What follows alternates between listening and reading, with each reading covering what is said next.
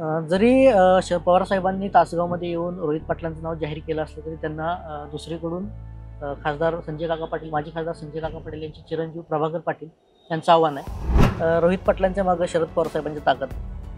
त्यामुळं ते आव्हान पेलतील काय अडचण येणार नाही. त्यांनी आधीच वर्षा दीड वर्षापूर्वीच विधानसभेचा शड्डू ठोकलाय करत.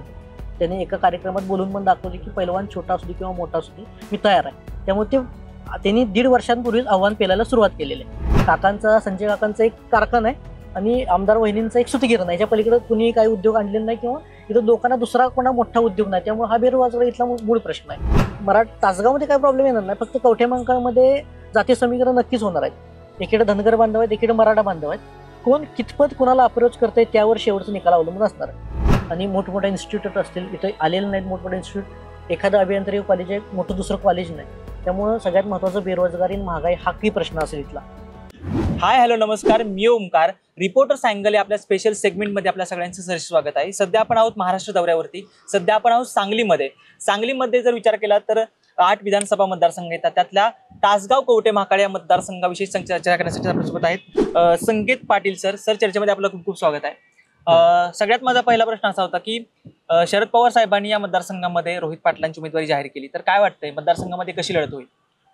जरी अं, पवार साहेबांनी तासगावमध्ये येऊन रोहित पाटलांचं नाव जाहीर केलं असलं तरी त्यांना दुसरीकडून खासदार संजय काका पाटील माजी खासदार संजय काका पाटील यांचे चिरंजीव प्रभाकर पाटील यांचं आव्हान आहे. दोनच दिवसांपूर्वी जिल्ह्याचे विद्यमान खासदार विशालदादांनी इथंच याच मतदारसंघात येऊन माजी मंत्री अजितराव घोरपडे यांना सांगितले की आम्ही तुमच्या पाठीशी थांबू.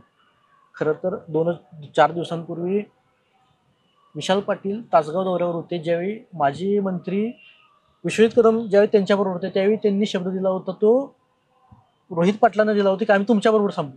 दोनच दिवस जाताना जात आहेत तोच विशाल पाटील परत घोरपडे सरकारांना म्हणतात आम्ही तुमच्याबरोबर थांबू.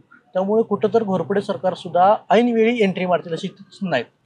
तुम्ही म्हणताय आता विशाल पाटलांनी सांगितलं की लोकसभेला विशाल कवटे माकाळमधनं आम्हाला विशाल अज- अजित घोरपडेंनी मदत केली. त्यामुळे विधानसभेला बी आम्ही अजित घोरपडेंना मदत करू असं. पण या सगळ्याचा दृष्टिकोनातून विचार केला तर मग तिसरी आघाडी कुठेतरी म्हणजे तिसरी एक नवीन उमेदवार या मतदारसंघामध्ये येऊ शकतो का? किंवा महाविकास आघाडीकडून रोहित दादा असतील महायुतीकडून आपले आपले प्रभाकर सर असतील आणि तिसरी उमेदवार म्हणून अजित दादा अजितदादांचं असं काय म्हणता येत नाही. अजितराव घोरपडे शेवटच्या क्षणी ते स्वतः किंवा त्यांचे पुत्र सुप्रीम कारखान्याचे चेअरमन राजवर्धन घोरपडे यांना सुद्धा मतदारसंघात उतरवतील अशी शक्यता आहे. याचा नेमका फायदा आणि तोटा कोणाला होऊ शकतो? तसं पाहायला गेलं तर तासगाव आणि तासगावमध्ये तुल्यबळ आहेत दोघं पण.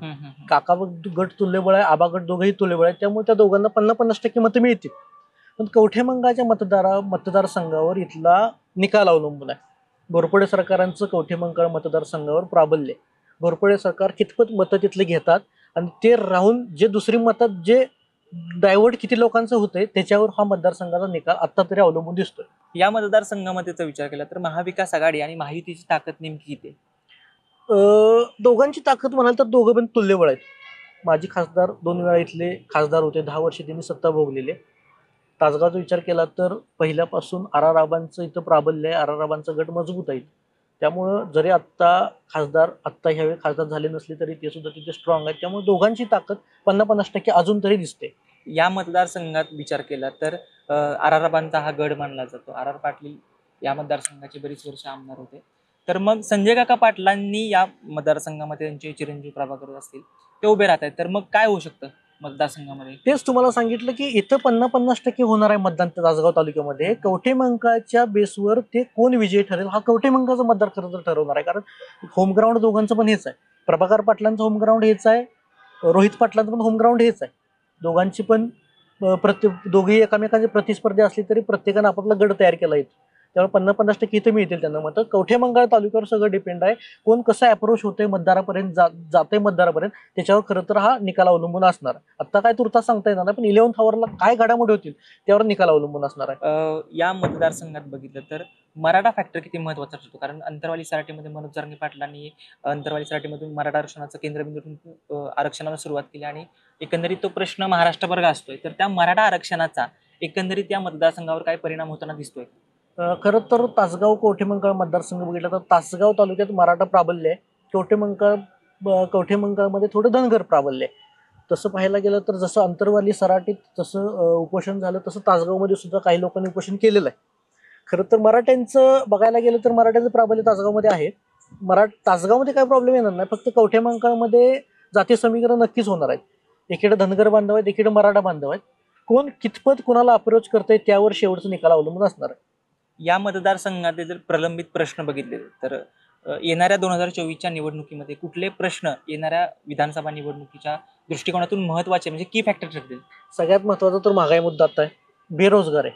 महागाई बेरोजगारी हा सगळ्यात कळीचा मुद्दा आहे आणि मोठमोठ्या इन्स्टिट्यूट असतील इथं आलेले नाहीत मोठमोठे इन्स्टिट्यूट एखादं अभियांत्रिकी कॉलेज आहे मोठं दुसरं कॉलेज नाही. त्यामुळं सगळ्यात महत्त्वाचं बेरोजगारी आणि महागाई हा की प्रश्न असेल इथला. आराराबांचा जर विचार केला तर या मतदारसंघामध्ये बरीच वर्ष ते आमदार म्हणून काम करत आहेत. तर एकंदरीत या मतदारसंघाचा विकास झालाय का? तसं पाहिलं तर झालंय तसं पाहिलं तर झालेलं नाही. बाहेर आपण बघतोय की प्रत्येक आमदारानं काहीतरी संस्था सुरू केलेल्या आहेत. मग त्या कंटिन्यू चालत आहेत. शेजारच बघितलं तर आपण कडेगाव सारखा पलूस सारखा मतदारसंघ असेल शिक्षण संस्था आहेत त्या सुतगिरणी आहेत त्यांच्या त्यानंतर त्यांच्या मेडिकल कॉलेज वगैरे आहेत किंवा त्यांचे दवाखाने स्वतःचे. तसं तासगाव तालुक्यात झालेलं नाही. तासगाव तालुक्यात काकांचा संजय काकांचा एक कारखाना आहे आणि आमदार वहिनींचा एक सुतगिरण आहे याच्या पलीकडे कुणी काही उद्योग आणलेला नाही किंवा इथं लोकांना दुसरा कोणा मोठा उद्योग नाही. त्यामुळे हा बेरोजगार इथला मूळ प्रश्न आहे. मला असं विचारायचं होतं की रोहित पाटील एक तरुण उमेदवार या मतदारसंघामधून उभा राहतोय. शरद पवार साहेबांनी त्यांची उमेदवारी नुकतीच जाहीर केली. त्यांच्यासमोर एक तगडं आव्हान उभा असणार आहे ते म्हणजे प्रभाकर सरांचं आणि दुसरं म्हणजे अजितदादांचं. अजित घोरपडे. तर मग हे तगडं आव्हान रोहित पाटील कसं पेलू शकतात? रोहित पाटलांच्या मागे शरद पवार साहेबांची ताकद आहे. त्यामुळं ते आव्हान पेलतील काय अडचण येणार नाही. त्यांनी आधीच वर्ष दीड वर्षापूर्वीच विधानसभेचा शड्डू ठोकलाय करत त्यांनी एका कार्यक्रमात बोलून पण दाखवले की पैलवान छोटा असू दे किंवा मोठा असू दे मी तयार आहे. त्यामुळे ते त्यांनी दीड वर्षांपूर्वीच आव्हान पेलायला सुरुवात केलेली आहे. आरारबा पाटील आणि रोहितदादा पाटील यांच्यामध्ये किती साम्य आहे? म्हणजे दोघांची वक्तृत्व शैली असेल आणि एकंदरीत काम करण्याची पद्धत नेमकी कशी आहे? तसं वक्तृत्व शैलीबद्दल तुम्ही बोललात. तर जसं आबा बोलायचे डिक्टो तसाच रोहित पाटील आहेत त्यामुळं लोकांना असं वाटतं की बाबा त्यांना लोक ज्युनियर आर आर पाटील म्हणतायत. सेम तसं बोलतायत. आहेत कामाची काम म्हणाल तर आहे काम काय अडचण नाही. काम करतायत ते लोकांचं. त्यांचा जो गट आहे तो सक्षम आहे इथं. त्यांची जी काही कामं असतात ती मुंबईला जाऊन ते मंत्रालयात पार पाडून आणतात ते. माझा शेवटचा प्रश्न असा असेल की एक पत्रकार म्हणून शेवटचं फायनल कमेंट काय असेल मतदारसंघाबद्दल कवठे महाकाळमध्ये कोण येतं आणि कोण जात आहे कवठे मंकाळमध्ये आता घोरपडे फॅक्टर की फॅक्टर ठरणार आहे.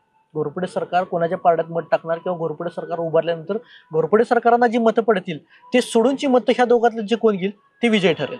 ओके थँक्यू सो मच मला वाटतं सर या चर्चेला आपण कुठेतरी पूर्ण विराम देऊयात. तुम्ही तर वेळात वेळ काढून हॅलो महाराष्ट्राची चर्चा केली. त्याबद्दल हॅलो महाराष्ट्राकडून खूप आभार आहे सर धन्यवाद.